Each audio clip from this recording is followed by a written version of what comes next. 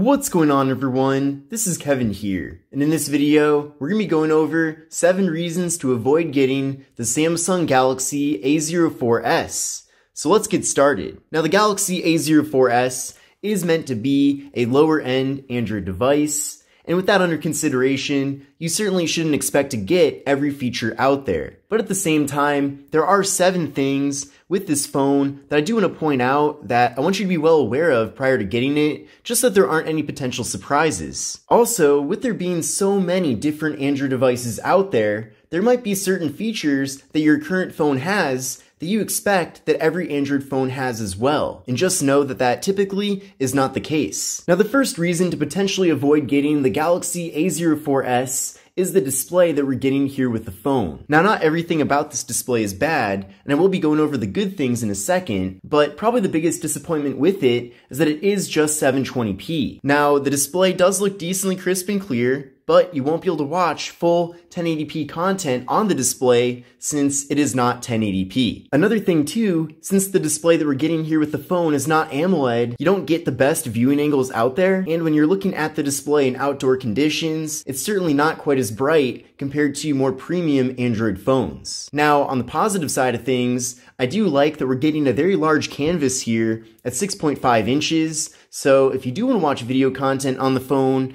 it will give you a very immersive video viewing experience. And also, in addition to that, I do like that we are getting a 90 Hz refresh rate with this device, essentially giving us a bit more of a smoother experience when going around the operating system, which you know, compared to a 60 hertz refresh rate, is definitely a bit better. Now, the second reason to potentially avoid getting the Samsung Galaxy A04s is because there is no 4K video recording. Now, for a lower end device, this is yet another feature that typically isn't that common to find, but at the same time, I don't want anyone buying this phone expecting that they can actually record video in 4K. Now, you might wonder, what's the point of even recording video in 4K if with this phone it has a 720p display and really barely any phones except for maybe the most premium ones out there actually have 4K displays. And the reason for that is you might want to record video and show it on a 4K TV and have it be in that resolution that the TV is capable of showing it at. Nowadays, you can go into pretty much any electronics retailer and find 4K TVs in pretty much any price segment. In fact, pretty much even the lowest end TVs that they offer nowadays are also in 4K. So if this phone did have 4K video recording, then that would have been great because then the video that you capture with the phone can then be shown on that TV at its full resolution. Now when going into video mode on the camera app, you can see that it does support 1080p video, which is also known as FHD, but when I go to select another resolution,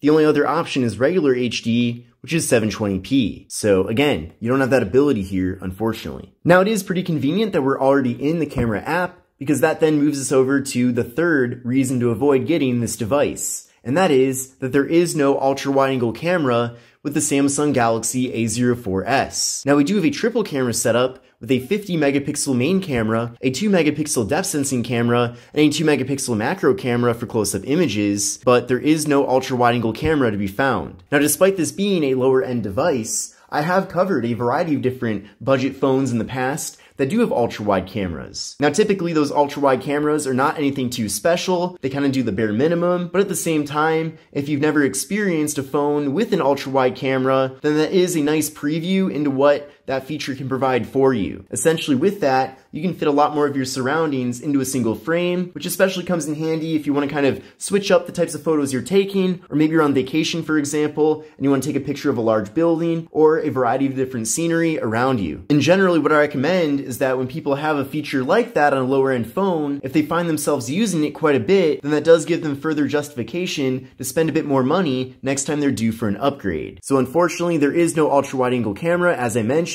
but at least we do have a variety of different other cameras here on this device. So here's how things look with the standard camera. Then from here, we can go over to the More tab to access the macro camera. And with that, we can get very close up and have things be in really good detail. We can then back out of there head over to portrait mode and get those blurred out backgrounds. And then we can also flip around to the front facing camera and take portrait selfies as well. So I do appreciate that we have a lot of different abilities here, like I mentioned, but I do wish that we also had an ultra wide camera on this device. Now coming in at number four is that there are no stereo speakers with the Samsung Galaxy A04s.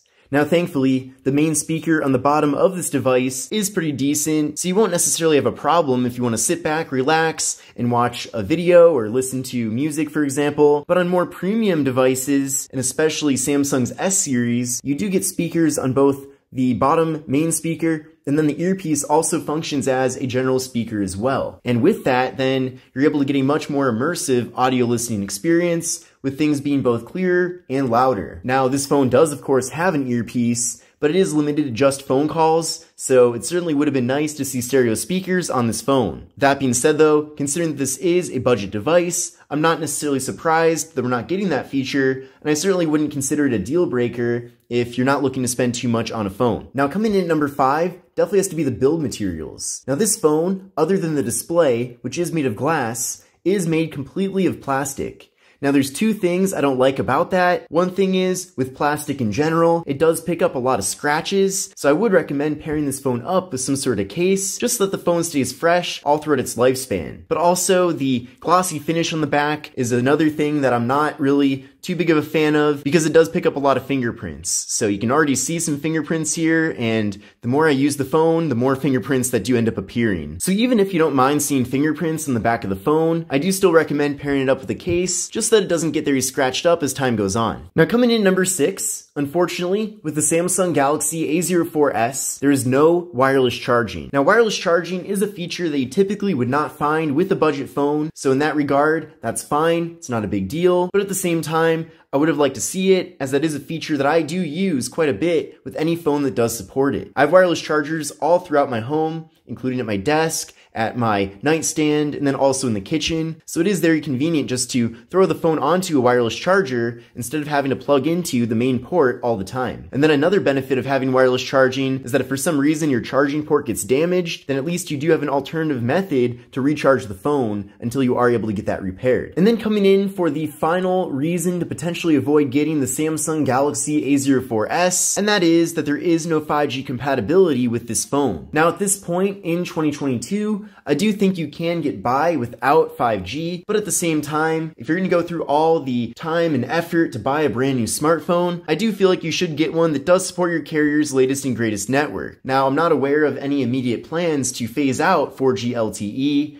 as that still is a relatively new networking technology, but clearly 5G is where all the investments moving forward are going into. So even though you can get by without it right now, maybe in several years from now, you're really going to wish that you did have a phone that did support 5G. And overall, the better network compatibility, the better, because you never know what situation you're going to be in where you need to connect to your carrier's network. Now, I wasn't going to include this, but I will throw it in as an added bonus. So I suppose this is eight reasons to avoid getting the phone, but I'm also not really a huge fan of the general design of the device. It's definitely very boring. There's nothing too exciting here, and certainly nothing that I've never seen before from other phones, both from Samsung and other companies as well. This general form factor of having a water drop notch, along with a slightly thicker bottom bezel, has been repeated so many different times. I mean, this phone easily could have been launched in 2018 and it would have fit right in with the phones that were released in that time period. So we really haven't gotten that much innovation as far as form factors go with lower end phones, especially in the last several years. Consumers don't seem to mind because they continue to put out devices in this form factor, so I suppose that kind of goes to show that most people care more about the general usability and practicality of their smartphone rather than having something that looks necessarily that different or modern, especially compared to phones that have been released, you know, in the last several years. So I guess if it's not a problem, then there's nothing really to fix here. But at the same time, it does make things a bit more exciting when there are, you know, different designs that are released that are more innovative and interesting. But this concludes my video on seven reasons to avoid getting the Samsung Galaxy A04s. Like I mentioned, overall, I do think it is a pretty interesting device. Of course, it is a lower end phone, but at the same time, it does offer quite a bit. But those various things that I mentioned in this video are certainly things that you'll definitely want to be well aware of prior to getting this phone, just so there aren't any potential surprises when you end up getting it. But I hope you enjoyed this video. If you did, give it a thumbs up. If you own a Galaxy A04s, let me know your thoughts about it in the comment section below. But this is Kevin here, and I will see you in the next video. Take care and have a great rest of your day.